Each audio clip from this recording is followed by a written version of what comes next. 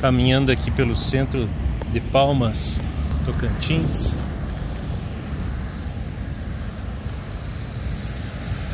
Estou aqui numa das avenidas principais que passa aqui o, o eixão, como o pessoal aqui de Palmas fala.